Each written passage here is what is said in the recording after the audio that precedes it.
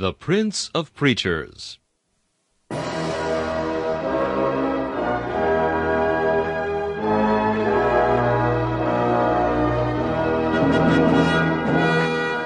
Charles Haddon Spurgeon has been called England's greatest contribution to the spread of the gospel in the 19th century. One of his contemporaries said that the chief secret of Spurgeon's attractiveness was the fact that, in every sermon, no matter what the text or the occasion, he explained the way of salvation in simple terms.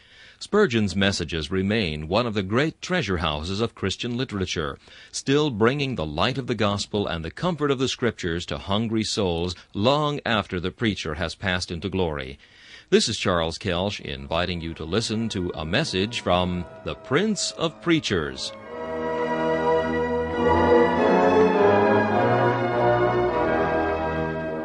C. H. Spurgeon preached this message on October 10, 1858, in the music hall of the Royal Surrey Gardens. It is entitled Self-Examination. The text is found in 2 Corinthians chapter 13 and verse 5. Examine yourselves whether ye be in the faith. Prove your own selves. Know ye not your own selves how that Jesus Christ is in you, except ye be reprobates? I had intended to address you this morning from the third title given to our blessed Redeemer in the verse we have considered twice before Wonderful, Counselor, the Mighty God. But owing to excruciating pain and continual sickness, I have been unable to gather my thoughts together, and therefore I feel constrained to address you on a subject which has often been upon my heart, and not unfrequently upon my lips, and concerning which, I dare say, I have admonished a very large proportion of this audience before. You will find the text in the thirteenth chapter of the second epistle to the Corinthians at the fifth verse. Examine yourselves whether ye be in the faith. Prove your own selves. Know ye not your own selves how that Jesus Christ is in you, except ye be reprobates? A solemn text that we cannot preach too impressively or too frequently meditate. The Corinthians were the critics of the apostles' age. They took to themselves a great credit for skill in learning and in language, and as most men do who are wise in their own esteem, they made a wrong use of their wisdom and learning. They began to criticize the apostle Paul. They criticized his style. His letters, say they, are weighty and powerful, but his bodily presence is weak and his speech contemptible. Nay, not content with that, they went so far as to deny his apostleship, and for once in his life the apostle Paul found himself compelled to become a fool in glorying. For, says he, Ye have compelled me, for I ought to have been commended of you. For in nothing am I behind the very chiefest apostles, though I be nothing. The apostle wrote two letters to them. In both he is compelled to upbraid them while he defends himself and when he had fully disarmed his opponents and wrested the sword of their criticism out of their hands, he pointed it at their own breasts and said, Examine yourselves. You have disputed my doctrine. Examine whether ye be in the faith. You have made me prove my apostleship. Prove your own selves. Use the powers which you have been so wrongfully exercising upon me for a little season upon your own characters. And now, my dear friends, the fault of the Corinthians is the fault of the present age. Let not any one of you, as he goeth to the, out of the house of God, say to his neighbor, How did you like the preacher? What did you think of the sermon this morning? Is that the question you should ask as you retire from God's house? Do you come here to judge God's servants? I know it is but a small thing unto us to be judged of man's judgment, for our judgment is of the Lord our God, to our own master we shall stand or fall. But, O men, ye should ask a question more profitable unto yourselves than this. Ye should say, Did not such and such a speech strike me? Did not that exactly consort with my condition? Was that a, not a rebuke that I deserve, a word of reproof or of exhortation? Let me take unto myself that which I have heard, and let me not judge the preacher for he is God's messenger to my soul. I came up here to be judged of God's word, and not to judge God's word myself. But since there is in all our hearts a great backwardness to self-examination, I shall lay out myself for a few moments this morning, earnestly to exhort myself and all of you to examine ourselves whether we be in the faith. First, I shall expound my text. Secondly, I shall enforce it. And thirdly, I shall try and help you to carry it into practice here and on the spot. First, I shall expound my text, though in truth it needs no exposition, for it is very simple. Yet by studying it and pondering it, our hearts may become more deeply affected with its touching appeal. Examine yourselves. Who does not understand that word? And yet, by a few suggestions, you may know its meaning more perfectly. Examine, that is a scholastic idea. A boy has been to school a certain time, and his master puts him through his paces, questions him to see whether he has made any progress, whether he knows anything. Christian, catechize your heart. Question it to see whether it has been growing in grace. Question it to see if it knows anything of vital godliness or not. Examine it. Pass your heart through a stern examination as to what it does know and what it does not know by the teaching of the Holy Spirit. Again, it is a military idea. Examine yourselves, or renew yourselves. Go through the rank and file of your actions, and examine all your motives. Just as the captain on review day is not content with merely surveying the men from a distance, but must look at all their accoutrements. So do you look well to yourselves. Examine yourselves with the most scrupulous care. And once again, this is a legal idea. Examine yourselves. You have seen the witness in the box when the lawyer has been examining him, or as we have it, cross examining him. Now mark, never was there a rogue less trustworthy or more deceitful than your own heart. And as when you are cross examining a dishonest person, one that hath by ends to serve, you set traps for him to try and find him out in a lie. So do with your own heart. Question it backward and forward, this way and that way. For if there be a loophole for escape, if there be any pretense for self-deception, rest assured your treacherous heart will be ready enough to avail itself of it. And yet once more, this is a traveler's idea. I find in the original it has this meaning. Go right through yourselves. As a traveler, if he has to write a book upon a country, is not content to go round its borders merely, but goes, as it were, from Dan to Beersheba, right through the country. He climbs the hilltop, where he bathes his forehead in the sunshine.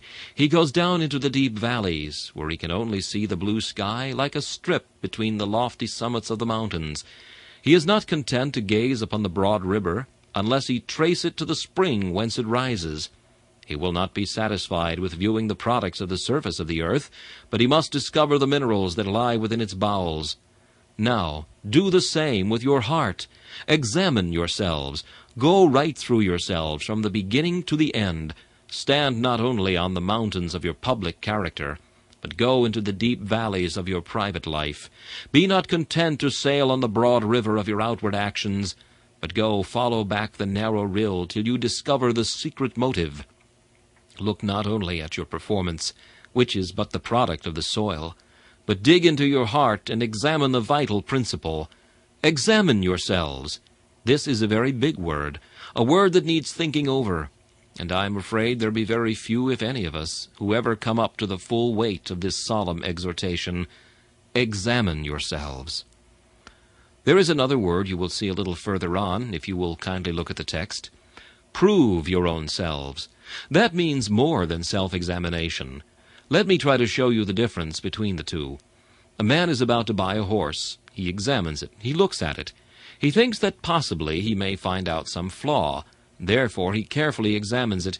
But after he has examined it, if he be a prudent man, he says to the person of whom he is about to buy, I must prove this horse.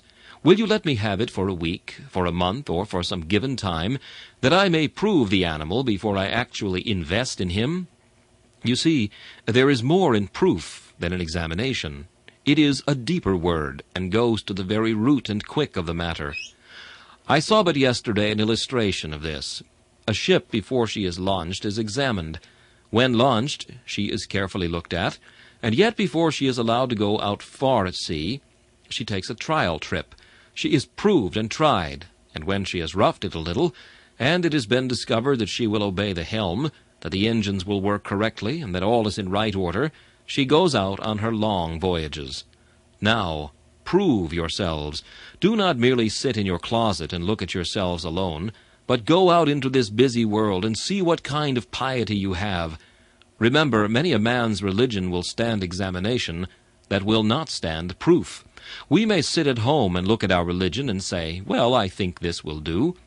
It is like cotton prints that you can buy in many shops. They are warranted fast colors, and so they seem when you look at them, but they are not washable when you get them home. There is many a man's religion like that. It is good enough to look at, and it has got the warranted stamp upon it. But when it comes out into actual daily life, the colors soon begin to run, and the man discovers that the thing was not what he took it to be.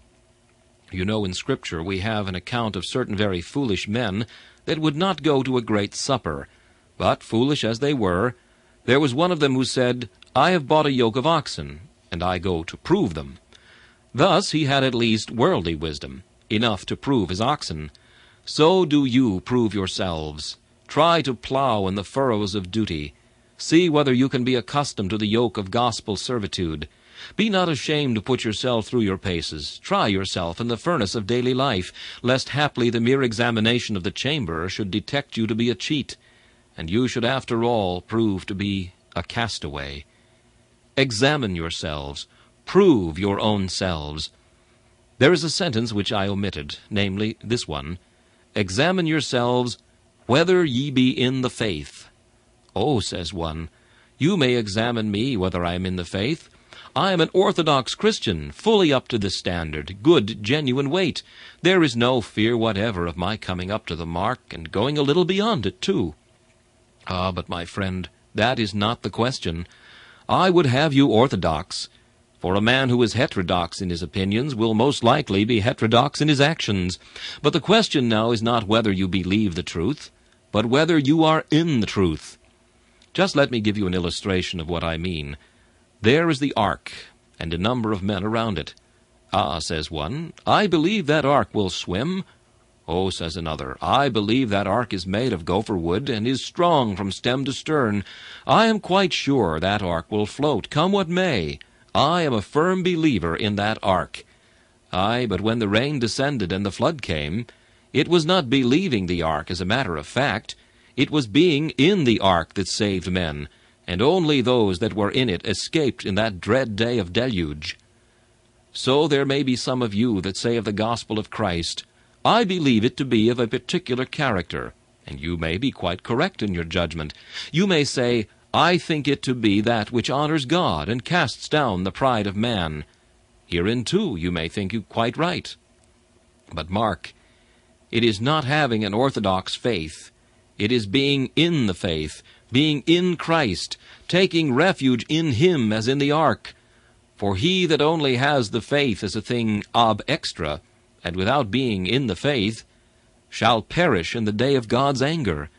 But he that lives by faith, he who feels that faith operates upon him, and is to him a living principle, he who realizes that faith is his dwelling place, that there he can abide, that it is the very atmosphere he breathes, and the very girdle of his loins to strengthen him, such a man is in the faith. But let me repeat again, all the orthodoxy in the world, apart from its effect upon the heart as a vital principle, will not save a man. Examine yourselves, whether ye be in the faith. Prove your own selves. Know ye not your own selves? If you do not, you have neglected your proper study. What avails all else that you do know if you know not yourself? You have been roaming abroad while the richest treasure was lying at home. You have been busying yourself with irrelevant affairs while the main business has been neglected and ruined. Know ye not your own selves? And especially know ye not this fact, that Jesus Christ must be in your heart, formed and living there, or else ye are reprobates. That is, ye are worthless persons, vain pretenders, spurious professors. Your religion is but a vanity and a show. Reprobate silver shall men call you, because the Lord hath rejected you. Now, what is it to have Jesus Christ in you? The Roman Catholic hangs the cross on his bosom. The true Christian carries the cross in his heart. And a cross inside the heart, my friends, is one of the sweetest cures for a cross on the back. If you have a cross in your heart, Christ crucified in you, the hope of glory, all the cross of this world's troubles will seem to you light enough, and you will easily be able to sustain it. Christ in the heart means Christ believed in, Christ beloved, Christ trusted, Christ espoused, Christ communed with, Christ as our daily food, and ourselves as the temple and palace wherein Jesus Christ daily walks. Ah, there are many here that are total strangers to the meaning of this phrase. They do not know what it is to have Jesus Christ in them. Though ye know a little about Christ on Calvary, ye know nothing about Christ in the heart. Now remember, that Christ on Calvary will save no man unless Christ be in the heart.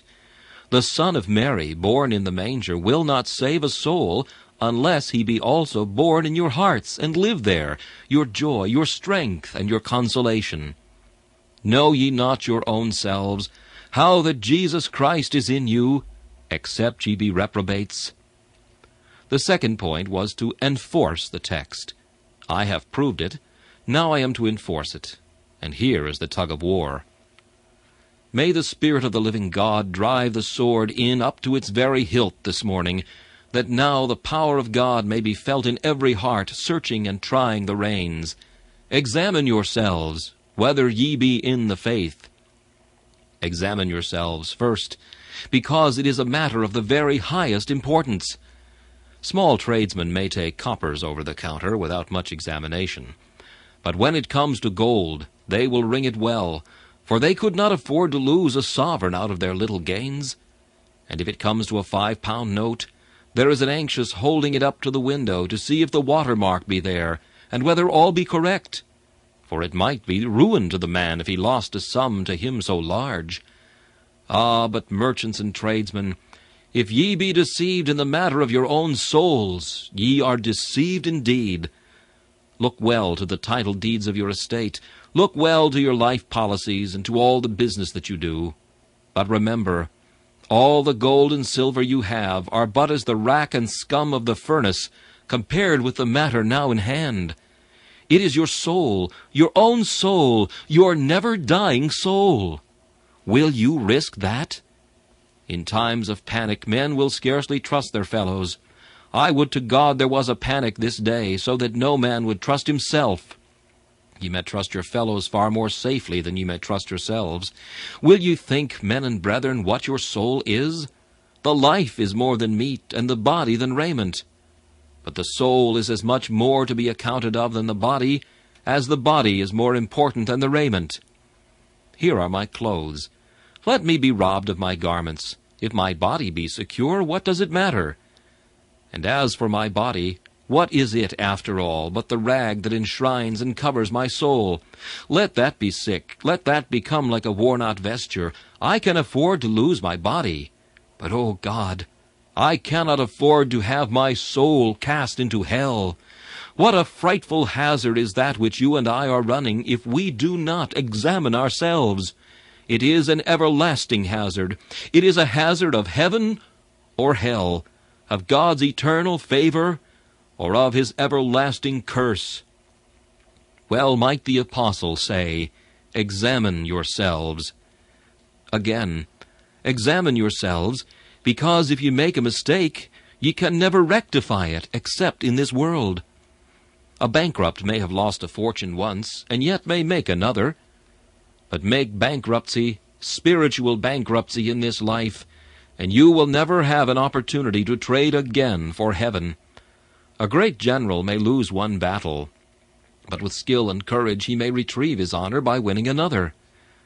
But get defeated in the battle of this life, and you can no more gird on your armor. You are defeated forever. The day is lost, and there is no hope of your being able to gain it again, or so much as to make the attempt.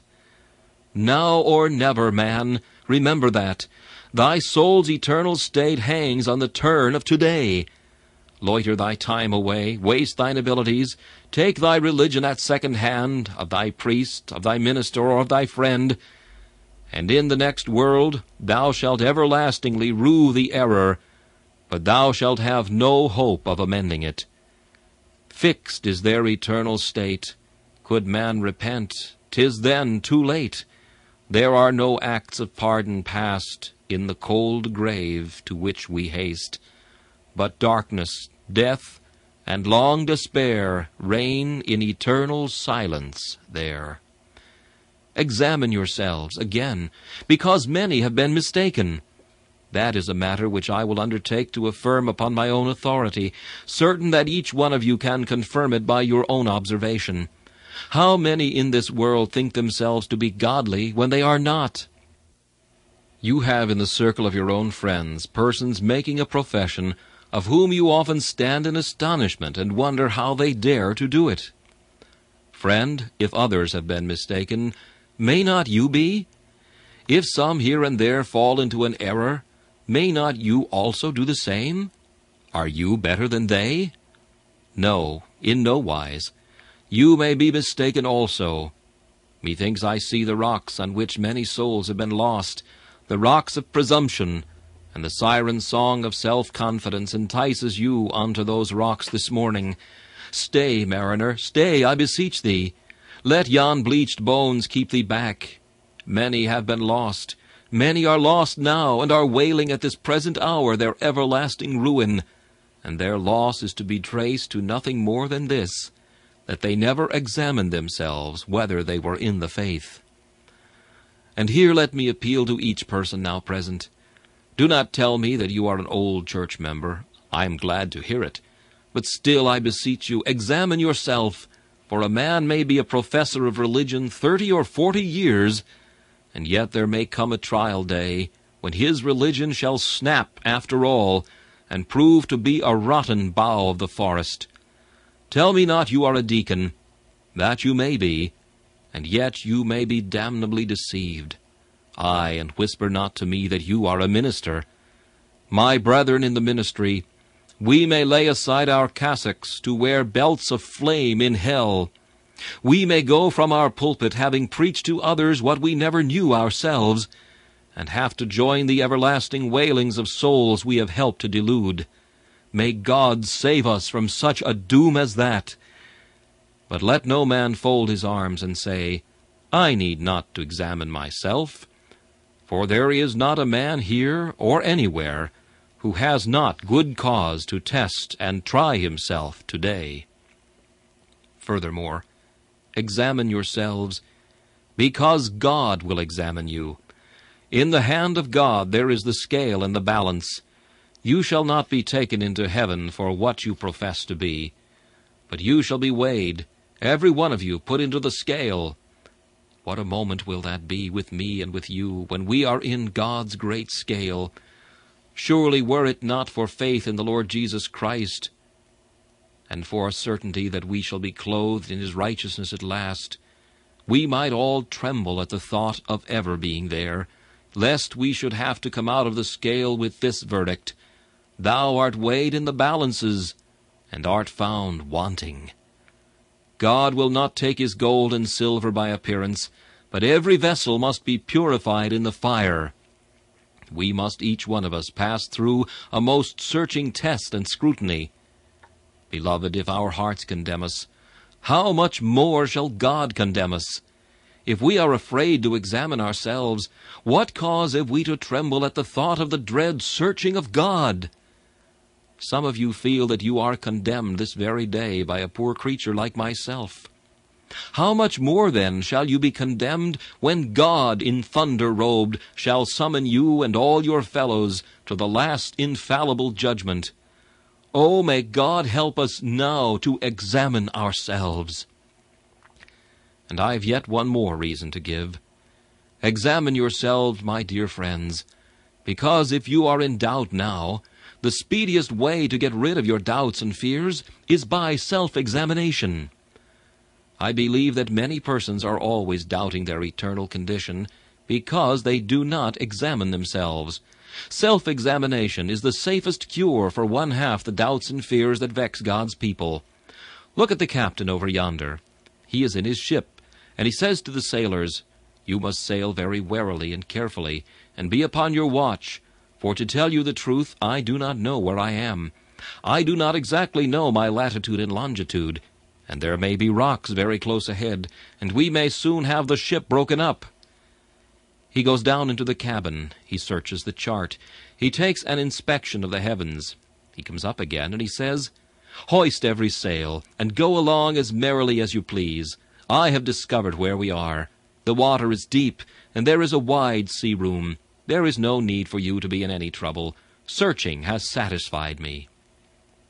And how happy will it be with you, if after having searched yourself, you can say, I know in whom I have believed, and am persuaded that he is able to keep that which I have committed unto him.